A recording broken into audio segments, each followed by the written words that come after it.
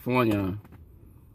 Uh, they got all these trees that lines up like in a row. It, it you, I, it's hard to explain until you see it for yourself. Like when I went there and I saw all these trees, it's different than the tree in uh, Louisiana. I look at that, I go, wow, you got all these trees. It looks kind of different and they have a uh, smaller branches and smaller stem you know, smaller roof, but they're tall though. They go up, they shoot straight up, and they're tall, taller than what we have here in uh, California. Uh, Atlanta is the hub of uh, anything, man. It's the, like it's like the uh, capital entertainment of Georgia. Georgia is the last 13 colony. Yeah, the very last. It's considered or it's known as a peach state uh, Coca-Cola is about south. It's it's about 10 minutes away from main Atlanta. It's south east. If you go down on south and then take east, it's right there next to uh, Jonesboro or Morrow, Georgia. Yeah, right around that area. Um, now when I went there, I went to uh, Jonesboro or Morrow. I think it's Jonesboro, Jonesboro, something like that southeast of Atlanta. And I met this uh, Cambodian dude. And he said, and I asked him for like two pounds of shrimp. But instead he gave me like five pounds of shrimp. I'm like, man, what's up with that? And he said this, he said, uh, all the dark-skinned Asian live in uh, south, southeast or south, southwest of Atlanta. And then all the lighter skin live on uh, right there by uh, Gwinnett County. So it's northeast of Atlanta.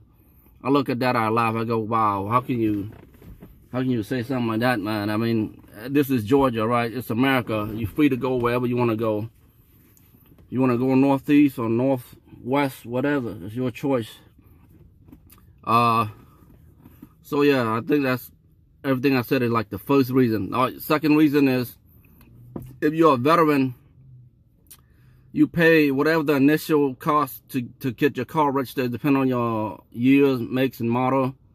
But it usually depends on the price of the car and the year. The newer the car, the more expensive the registration is. But it goes like this. I pay 130 for my uh, Toyota Yaris 2007. 130 on the initial registration and small check uh, or vehicle uh, inspection. And then the second year came, I only pay a dollar. So if you're a veteran, you only pay a dollar after that. So no matter what you got, even if you have a brand new car, you pay the initial cost, whatever that may be, I don't know. And then after that, it's just one year. And then the year after that, and so on and so on. So every year that you live there, after that, it's just one dollar, one dollar, one dollar. Now, I don't have, I have it in my, uh, in my backpack somewhere at the storage. But uh, I can show you the proof that I pay a, a, dollar after that. So you can ask any veteran that lives there. They, they say the same thing. So that's very cool, huh? And they're very uh, veteran friendly. If you go to DMV, just like in Texas, they got a lane for, uh, they, they have a ticket. They, they make you take out this uh, ticket. And there's two lanes. There's one for the regular people and the other one for veteran. So I took out the veteran. First, I want to go to uh, get my ID. And uh, the only way you get your ID is you got to go to this place. It's not even DMV. It's called DSS. Drivers Social Service, something like that. It's called DSS. And uh, the place that's being held is being held at a at a, a, a GPS, Georgia State Patrol, or GSP. There we go. You got to go to GSP station, which stands for Georgia State Patrol. Uh, it's equivalent to state police like a CHP we got here, or NHP in Nevada. California Highway Patrol, something like that. It's a state police. So you got to go there to get your, it's a place called DSS. You got to go there to get your driver license. Uh, eh, yeah, you got two lanes. You got, you got two, two, uh, sections. One for the veteran. You take out a ticket for a veteran. So I went there. You got like, I don't know how many people there, like two, maybe 300. And I went in there. I took out a ticket for the veteran.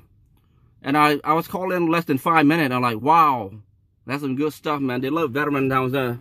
And uh, 99%, what the place where I live at, Atlanta alone, it's like 99% African American. But you know what? It doesn't bother me who they are, what they are. It don't matter what your race, ethnicity. It doesn't bother me because um, when I was there, I say the same thing. Well, I saw the same thing over and over that people engage in this rat race. You know, they get up, they go to work, they pay their bills, and they do the same thing over and over every day. No matter where you go, I always see the same, well, the average or the standard deviation, which is 68% and above. Uh, you always see the same people. I mean, not the same people, but the same, the general idea is that people get up, go to work, pay their bills, get up, go to work, pay their bills. They always do the same thing over and over and that's just just something normal so uh, if you like coca-cola go there it's down in uh, like i said the southwest. If you go down southwest coca-cola station is right there. They moved from uh, it wasn't there. I, I, no i think it was somewhere else. But then they moved to atlanta georgia. Uh, cnn is right there too. If you ever drive down uh, uh, atlanta georgia it's not as atlanta georgia freeway it's not the same as what you get here in uh in Los Angeles County, man. It's it's very packed, but it's the the traffic flow real by real quick.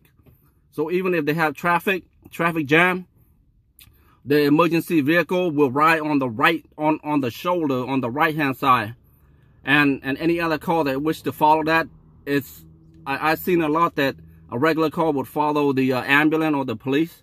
Usually it's an ambulance. They they ride on the right hand side, the right shoulder, and they just follow that. It's pretty awesome, man. And only in Atlanta where I saw this. You can drive on the right-hand side shoulder, but there has to be a, a, a signal, has to be a light. For instance, if you drive on uh, Atlanta to uh, Gwinnett County, to, uh, I, I can't think of the name of the city, but uh, yeah, Gwinnett County, that's all I can tell you. So you go north, northeast of Atlanta on a freeway, you will come to a freeway where it says where it's perfectly legal for you to drive on the right hand shoulder. Yes, the right hand shoulder. But as long as there's a light, it says green on it, that means you can just go. If it says red, you cannot drive on it. So that's pretty awesome.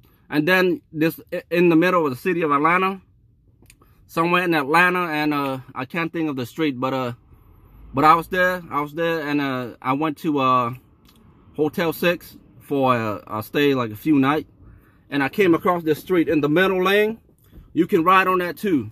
But it has to, but the light has to be green. It is usually it's green with an arrow. It says for you to go. And then on the other day, it'll go from green with an arrow, it'll go with an X, which means you cannot drive on it. But as long as you see a green with the arrow uh, on, on your lane, you can drive on the middle section. It's perfectly legal. The same with the off hand or the right the right shoulder, you can do that too. As long as you see the green arrow, and it says for you to go, you can just drive on it. You cannot do that here in, in uh, California. You can drive in the middle lane no, no less than, no more than 199 feet or 200 feet. If you do anything on that, you get a ticket. And you cannot ride or drive on the right-hand shoulder on the freeway either. You get a ticket for that too. So that's something to think about. You want to move to Atlanta, Georgia. Uh, if you go to uh, northeast of Atlanta, there's a city called uh, damn, uh, can't think of the name, is Marietta. Marietta It's where they filmed this uh, movie called uh, Scarlett, which is the second, which is a sequel to Gone with the Wind. I have the complete DVD. I have the complete set of that movie.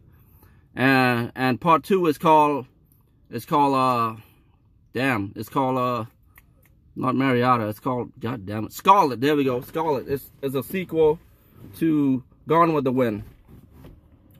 Um, if you go up north from Atlanta, I don't know how many miles, maybe 25, 30 miles, there's a place, there's a city called uh, Alpharetta, which is known as the Silicon Valley of Atlanta.